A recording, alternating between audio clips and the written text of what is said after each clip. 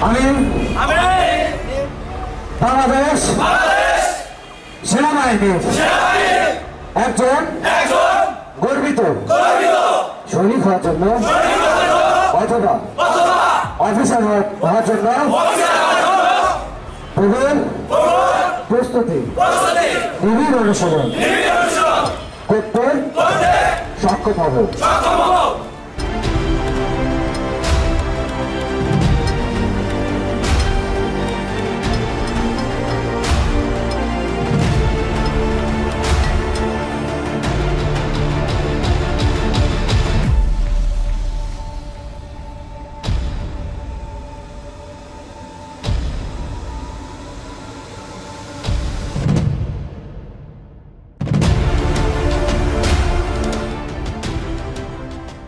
আমাদের, বাংলাদেশের সকল মুক্তিযোদ্ধাদের সম্মান করব।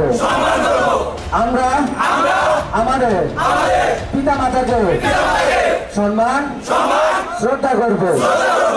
আমরা একজন সামরিক বাহিনীর গর্বিত অফিসার অথবা সৈনিক হয়ে প্রত্যক্ষ এবং পরোক্ষভাবে দেশ সেবায় দেশের মানুষের সেবায় নিজেকে নিয়োজিত করবে। ধন্যবাদ সবাইকে।